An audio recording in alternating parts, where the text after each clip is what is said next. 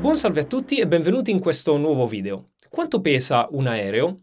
Oggi cercheremo di rispondere a questa domanda che è abbastanza interessante perché noi siamo abituati a pensare che gli oggetti che volano siano incredibilmente leggeri, ma come vedremo questo non è sempre vero. Prima di parlare di numeri, ovvero di quanto pesano le varie categorie di aerei, è necessario capire cosa conferisce peso all'aereo. Infatti non è semplicemente l'aereo in sé con la sua struttura che conferisce il peso all'aereo stesso, ma vi sono una serie di cose all'interno che possono far variare questo peso. Il peso al decollo di un aereo è somma di vari altri pesi. Innanzitutto abbiamo la struttura dell'aereo, ovvero tutto il materiale che compone l'aereo, tutte le sue parti, la fusoliera, le ali, i motori, tutti i sistemi, quindi l'aereo vero e proprio.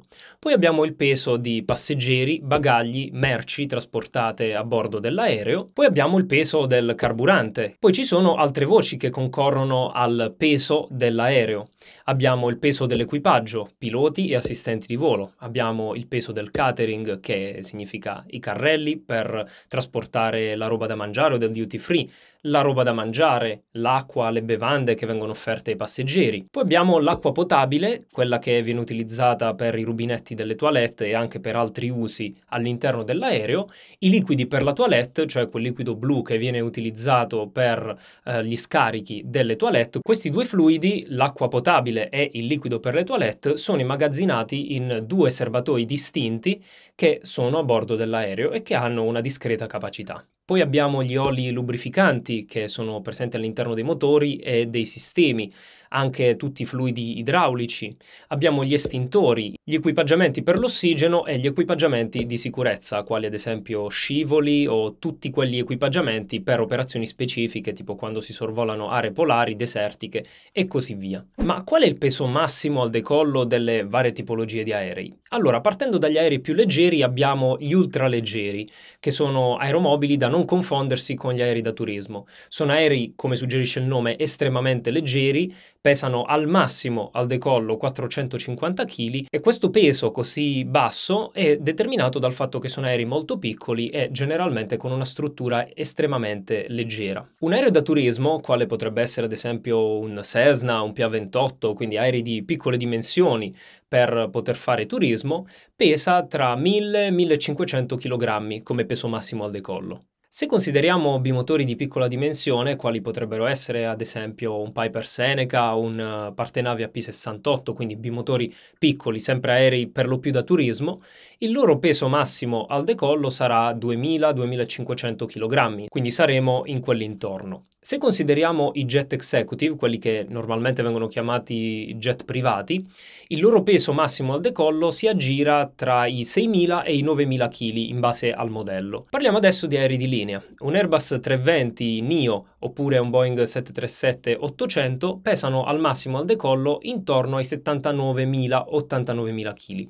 Quindi questi sono gli aerei più diffusi nel mondo per l'aviazione di linea e sono quelli che verosimilmente prendiamo per spostarci da un punto all'altro per i voli nazionali e internazionali. Un Boeing 777-300, un aereo da trasporto intercontinentale, un vero bestione dell'aria, ha un peso massimo al decollo nell'ordine dei 300.000 kg kg. Tra gli aerei più grandi al mondo per trasporto passeggeri troviamo il Boeing 747-8 con un peso massimo al decollo di circa 400.000 kg e l'Airbus A380 che è l'aereo più grande per trasporto passeggeri che pesa al massimo al decollo 575.000 kg. Ora, questo è il peso massimo al decollo, cioè il peso massimo che l'aereo può sopportare per il suo decollo, ma in realtà il peso della sola struttura dell'aeromobile va dal 45 al 60% in base al modello del peso massimo al decollo. Quindi prendete i valori che abbiamo detto poco fa, li dividete per due e all'incirca avete un'idea di quanto pesi il solo aereo. In più aggiungiamo che normalmente gli aerei vengono operati tra il 70 e il 90% del loro peso massimo al decollo, raramente arrivano vicini al peso massimo al decollo e questo perché naturalmente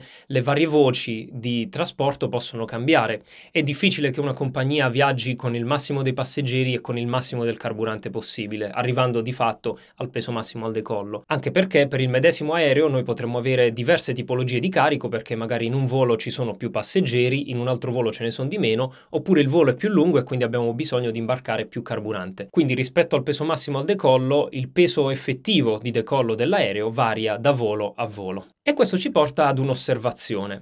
Tanto più gli aerei sono capaci di trasportare peso in volo, tanto più sono non solo grandi come volume, ma hanno anche delle ali più generose, più grandi. Questo perché, tra le altre ragioni che mantengono in volo l'aereo, la forza della portanza, cioè la forza che sostiene in volo gli aerei, dipende in maniera direttamente proporzionale dalla superficie alare. Quindi se noi abbiamo più peso, dobbiamo avere necessariamente più superficie alare se vogliamo mantenere velocità di volo praticamente uguali per più o meno tutti gli aerei. Un'altra osservazione che va fatta è che il peso dell'aereo diminuisce durante il volo perché il carburante viene consumato dai motori e quindi l'aereo si alleggerisce.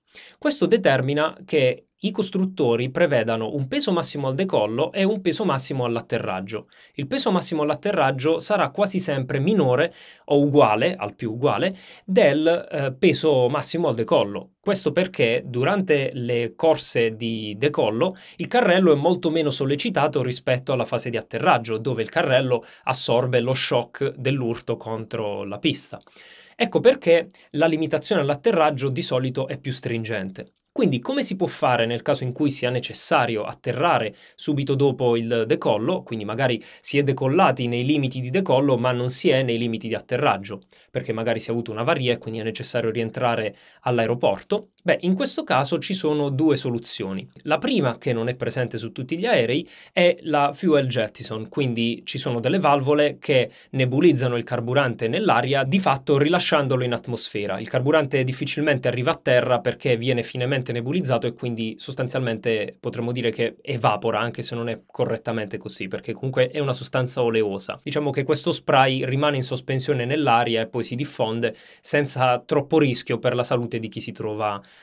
al di sotto. Ovviamente la procedura di scarico del carburante non viene effettuata su centri abitati, ma viene effettuata in apposite aree che sono previste e indicate soprattutto dal controllo del traffico aereo. Se sull'aereo non è previsto questo sistema perché magari le due limitazioni sono molto vicine, quello che di solito si fa è eh, consumare il carburante aumentando la resistenza dell'aereo, quindi aprirò spoiler, flap, carrelli, tutto quello che aumenta la resistenza dell'aereo e quindi per rimanere in volo dovrò utilizzare una spinta maggiore e questo farà aumentare i consumi e quindi nel giro di pochi minuti l'aereo rientrerà nei limiti anche per l'atterraggio. Bene, il video termina qui, io spero che sia stato interessante. La foto di oggi ce la invia un iscritto veramente dei primissimi tempi del canale, Biagio, che ho avuto la possibilità di incontrare diverse volte e che saluto davvero caramente. Qui si è fotografato con eh, una maglia del canale. Approfitto per salutarlo caramente anche perché lui è nella foto del primissimo raduno di Bari insieme agli altri impavidi che quel giorno furono